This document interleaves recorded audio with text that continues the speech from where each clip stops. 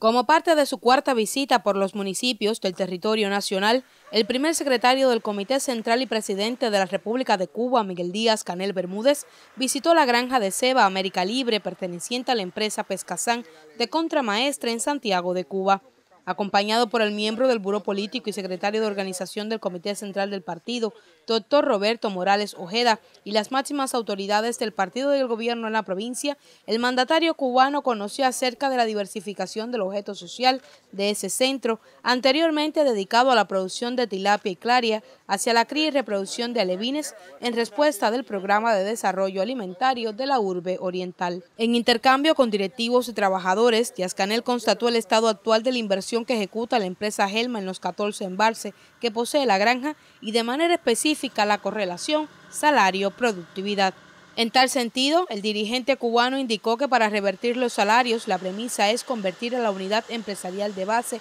en mi pyme estatal de subordinación local, de lograrlo será esta la primera experiencia en Contramaestre, territorio que hoy aporta el mayor nivel de estanques a la provincia. En la sesión final de trabajo que evaluó los resultados de la implementación de la estrategia económica y social al cierre del primer trimestre del 2024, el miembro del Buró Político, doctor Roberto Morales Ojeda, enfatizó que es necesario movilizar e impulsar dos grandes batallas, la política ideológica y económica y social, además de fortalecer la unidad y lograr la participación del pueblo. Cómo desde la unidad logramos incrementar la participación y con una mayor participación fortalecemos la unidad. Cómo nosotros logramos incidir en la labor ideológica, en ese perfeccionamiento al que nos llamó el general de Jesús al que nos ha llamado el compañero Díaz Canel,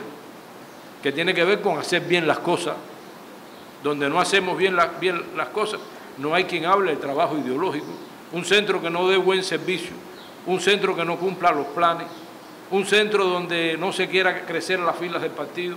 También tenemos que preguntarnos allí cómo funciona el núcleo, qué ejemplaridad tienen los militantes. El jefe de Estado enfatizó en dos prioridades fundamentales, la producción de alimentos y los indicadores estratégicos para lograr la ley de soberanía alimentaria y educación nutricional. En tal sentido señaló que hay que tener hectáreas por cultivo en cada municipio para el plan de abastecimiento municipal, como las respectivas plantaciones de plátano, yuca y boniato.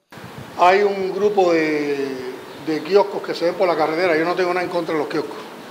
lo que pasa es que no puede ser que los kioscos de la carretera estén llenos de comida y que entonces las estructuras acopio estatales no sean capaces de acopiar comida y ponerla en las placitas. Lo ideal es que hubiera las dos cosas, que las placitas tuvieran mucha comida y que en los kiosquitos hubiera comida. Cuando no hay en las placitas y hay en los kioscos, lo que significa es que el particular o el intermediario está llegando más al acopio con los productores que nosotros y tenemos que revisar por qué.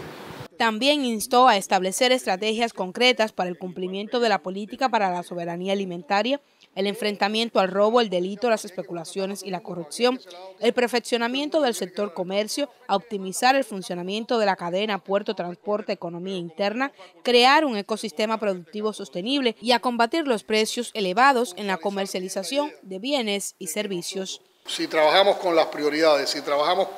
con análisis sistemático con relación a las prioridades, nosotros podemos pasar a un momento distinto en la solución de problemas y a resultados distintos y a ir de verdad cambiando activamente la, compleja situación que ha vivido el país en los últimos cuatro años, motivo de todas las cosas que ustedes, que ustedes conocen, que eso es lo más revolucionario que podemos hacer. Como es habitual en sus recorridos, Díaz Canel intercambió con pobladores de Contramaestre a la salida de la sede del partido. Desde Santiago de Cuba, el camarógrafo Santiago Martí y Dailin Herrera Vallar, Canal Cubano de Noticias.